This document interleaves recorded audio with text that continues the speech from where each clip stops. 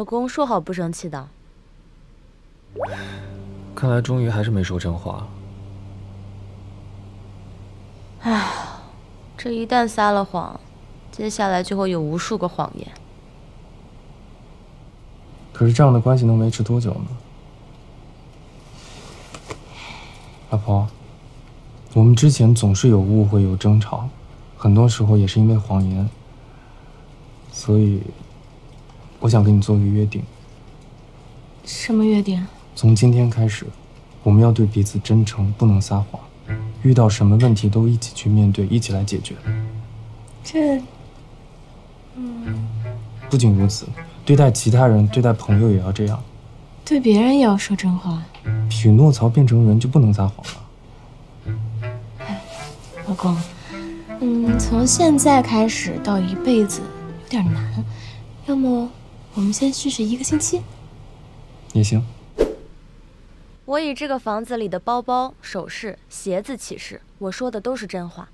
我也以面前这个我最爱的女人起誓，我说的也都是真话。不管说什么，都要互相理解，无条件微笑。好，那我先来。嗯，你觉得我素颜好看吗？好看。比化妆后呢？差一点点。上周四我不是跟你说我去跟客户开会吗？嗯。其实我跟韩青出去吃饭了。那天我可是做了一大桌子菜，但是你做的菜太清淡了，所以我就假装出去工作，其实是出去吃饭了。你可以理解的吧？我能理解。那我也坦白，其实有的时候我会把你不穿的一些衣服拿出去捐掉，因为我觉得你永远都不会再穿了。蚊子？真的有蚊子？真的有蚊子？可能我们家窗户没有关吧。嗯，你在对我发脾气吗？不是说好要互相理解的吗？好，我再来一个。上次母亲节的时候，不是没去咱家吗？其实我跟我妈说是你不让我去的。你真这么说的？嗯，说太麻烦就不回去了呀。所以你没有发现妈妈到后面一直都没有给你打过电话吗？就是因为我是那样说的。嗯，老公说好不生气的。我跟韩青同时掉进水里，你先救谁？韩青。你会游泳，那我也希望你先救我呀，老公，咱们要不今天先到此为止？我觉得再这样下去，后果不堪设想。我同意。啊，这周末我跟善良真的不太适合回家，因为我跟善良有一个约定。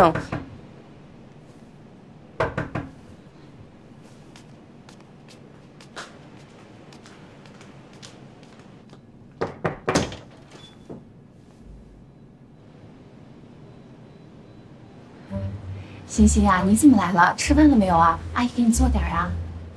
阿姨，咱们都这么多年了，你也就别演了，也怪累。我我演什么了？星星，你说什么呢？我可是真心喜欢你的呀。他是真喜欢我吗？不是，他虽然说不怎么讨厌你吧，但也不怎么喜欢你。别听他胡说八道啊！我可是一直把你当亲生女儿。他把我当亲生的，那怎么可能呀？他对待亲生的能像对你这么好？那是因为人家欣欣比你听话，哪像你？我听话吗？这一点倒是真的，你确实比我听话。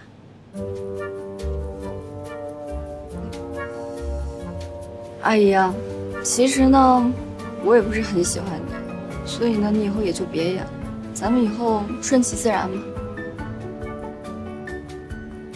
行，哎，臭丫头，别忘了周末回去吃饭啊！你让我回的，行，回。